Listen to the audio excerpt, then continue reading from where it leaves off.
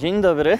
Pytamy dzisiaj o zmianę czasu, która się w Polsce odbywa, tak, dwa razy do roku. Czy to jest mądry pomysł, czy to nie jest za, za dobry Według manewr? Mnie to niepotrzebnie. Dlaczego niepotrzebne? Wprowadza zbędne zamieszanie? Znaczy ja wiem, no człowiek się przyzwyczai i wystarczy, Mhm. że raz będzie. Po prostu nie widzi pan sensu te- w tego No, typu nie ma sensu. Zmienianie. Niepotrzebne, proszę pana. Według mnie to absolutnie niepotrzebne. Nie widzi pani w tym większego nie, sensu. nie. Pytamy dzisiaj o zmianę czasu. Czy, czy, czy to jest potrzebne w ogóle w naszym Dla kraju? mnie nie, Nie, nie widzi pani w tym sensu. nie, żadnego. Ja uważam, że nie.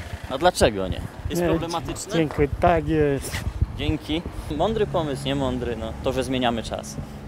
Nie No, raczej, raczej bardzo mądry. Uważa pani, że to jest mądry pomysł, mądry manewr, czy niekoniecznie? Y, Uważam, że chyba raczej poroniony. Czyli czasu raczej nie trzeba zmieniać. Nie ma Dla to mnie nie. sensu. Oczywiście. Zbędne zamieszanie tylko. Y, Dlatego y, nie tylko zamieszanie, i człowiek się źle czuje. Dzień Dobry.